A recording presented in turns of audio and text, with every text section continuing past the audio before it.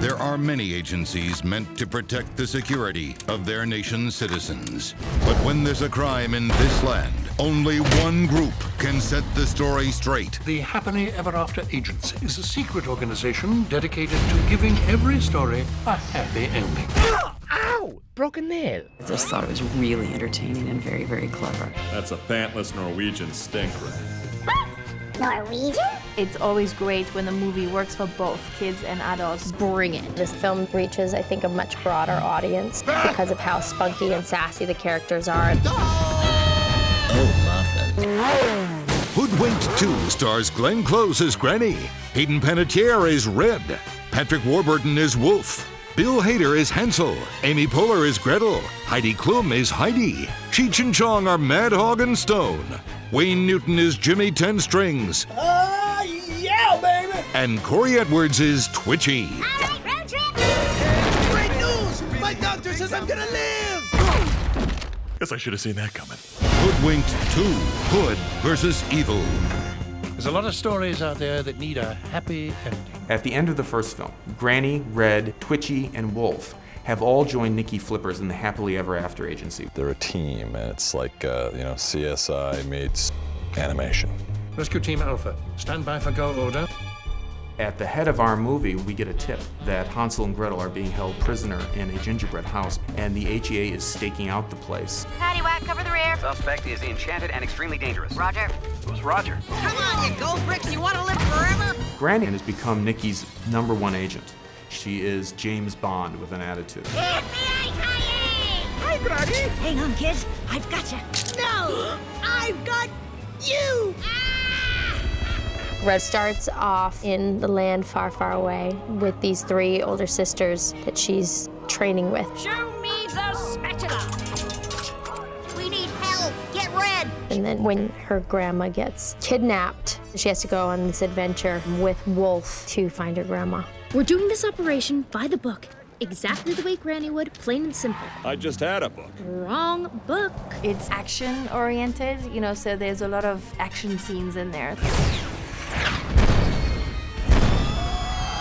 All the sets uh, are homages to uh, other movies. Uh, we have the Enter the Dragon set. We have the Crouching Tiger, Hidden Dragon you know, battle on the bridge. We have the speeder chase through the forest, which is um, Star Wars 2. It's actually the French Connection. We have a chase through windmills from Mission Impossible 3. We have all the big budget shots that someone who's actually looking at the film on that level would really enjoy. Who are you? I'm your worst nightmare. A sister with a badge, and I'm on to you. She's Little Red Riding Hood, basically, but she's uh, a much spunkier version of her. A great personality. It was fun playing her. No, I mean, I shouldn't have tried to do everything myself. Now the HEA is gone and they've got the truffle, and I didn't even rescue you. I was just so worried about proving I can live up to your example. Sorry I let you down. Granny's not typical at all. She's uh, highly athletic and very daring and uh, unexpected. Booyah. Still got it. Someone who really showed up and just blew the doors off with Patrick. It's just a scream. That's how the wolf screams. Patrick's an incredibly funny guy. He can deliver the phone book and make you laugh. Tree! Tree, tree in the way. Put on your man pants, Wolfie. He's funny, he's dry, he's too cool for school. Can we go back for my stomach? It's pink, shaped like a football. That's my lunch. Oh, knuckle up, dog. You passed them. You passed them. Why did you pass them? And of course, Corey came back and did Twitchy, one of the most uh, beloved characters of the first movie. Over here. Okay, Twitchy, let him have it. Bye! This little piggy is out, and this little piggy is out. Is anyone else getting hungry? Huh? Very nice. Heidi's a very voluptuous uh, yodeler, and she is here with her team to help Red save her grandmother. Thank goodness and gracious, you have come to save us like angels from heaven. If anyone's looking to cast, you know, the next James Bond movie, I really think Bill and Amy should be the villains. Ha! I am indestructible. Oh, Schnitzel. Hey! Ali Baba and a carpet ride. I'm Jack and the Magic Beans. I'm like Hansel and Gretel in a candy house when you blow a little kiss at me. Every day's a mystery where my wildest dreams come true. Living in this fairy tale with you. Do it! I think that this will go down as one of my favorite things I've ever done. I love it! Heidi to the rescue! I was really blessed with the cast on this film Right. because everybody gave 100%. There's a lot of comedy mixed in with it. It's a blast. I probably get two thumbs up from my kids for being a voice in a children's movie because they actually get to see something what I do. Go red, go. Essentially, it's an insane concept. Red Riding Hood and the wolf and her granny and an insane squirrel get together to solve crimes. So, I mean, that right there gives you the a playground to play in that you want to stay in and you want to enjoy. Uh, well, let's see. Hoodwink 2 picks up where, of course, Han Solo is frozen in carbonite and the droids. Oh, wait a minute. No, that's. Uh, but we wanted it to kind of jumpstart, uh, uh, you know, when you leave um, the original Star Wars, A New Hope, and, and you've seen a lot of sand and desert, and then you go to an ice planet, we thought, let's do something like that. And, and nothing against uh, uh, movies like Shrek that have had many sequels, but they're in the same environments, it's the same color palette, it's, it's kind of a continuation of the same tone. And we said, let's shift the tone because we're not going to do flashbacks again. We're not going to do that model. That, that idea had kind of been done. So we said, let's have a fun with a, just a linear story, a crime story, but this time, let's make it weird that we take these storybook characters and they go to a city. And we'll do a little bit more with the crime uh, tone and, and, and the noir tone. So that was really exciting to us to just do kind of a straight, you know, like what if it was Lethal Weapon or Rush Hour, but it's a wolf and a little girl?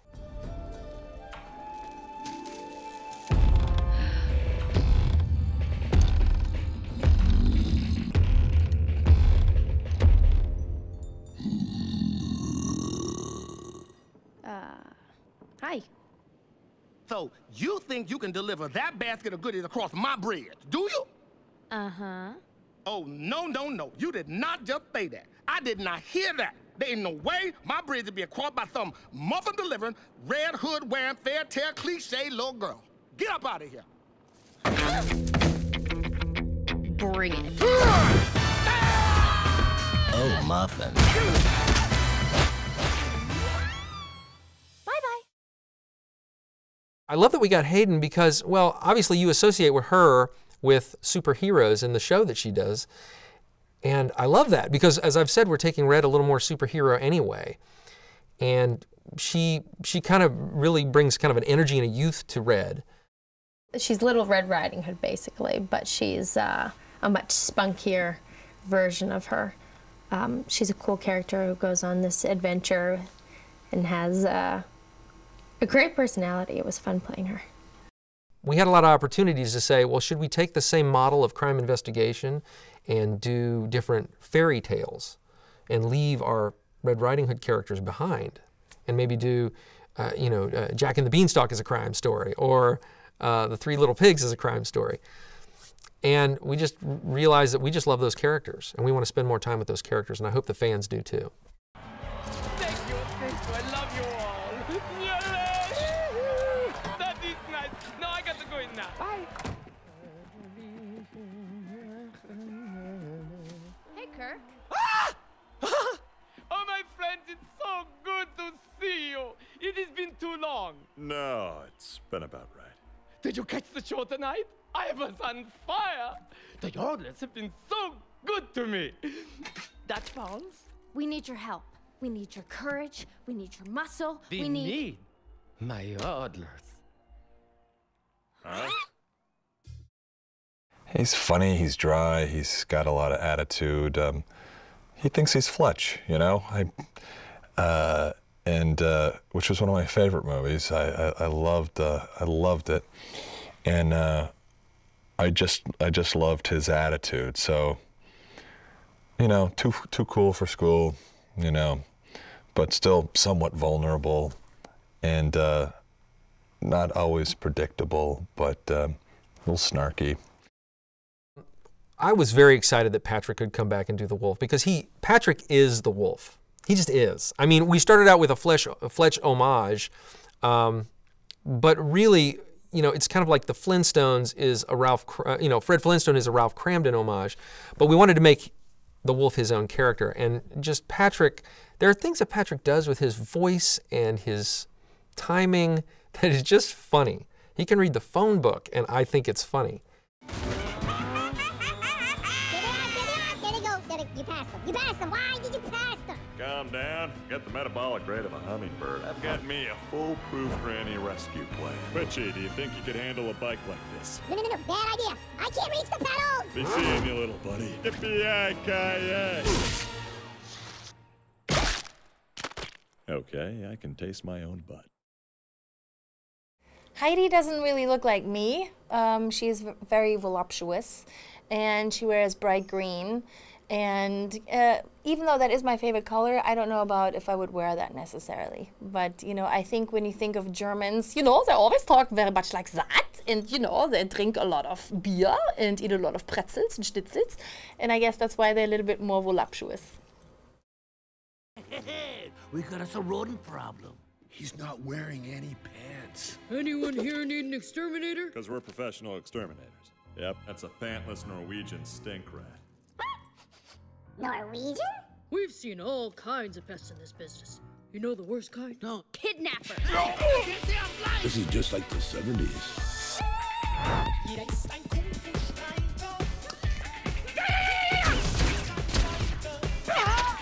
Take that, Schweinhund! This little piggy is out and this little piggy is in. Is anyone else hungry? Ooh. Ow! Broken nail. Oink! Oink! Oink! Oink! Heidi's hogging all the pigs! The writing in it is brilliant. It's an action thriller, as it were. It's you know comedy on, you know, on a Saturday Night Live kind of scale. So it's kind of like, you know, uh, live action thriller meets Saturday Night Live, Little Red Riding Hood, and it's just funny all the way through. You know, it's entertaining. It really moves with a, a great pace, um, uh, even more pace than the, the first one. And and not that that's the most critical element, but I do think that it helps. You know, if it's fast and funny, and uh, this one just you know it goes from one one thing, one situation to the next, and and th- they're all really kind of. Uh, you know, curious and, and odd incarnations of actual events that happen in, in, you know, the fairy tales. And so just a fun, different perspective on all of it.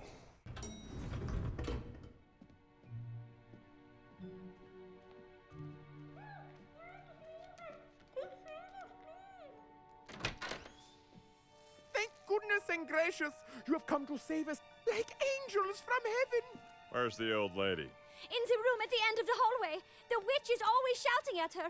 It is so scary here. If I stay another minute, I may scream. Scream,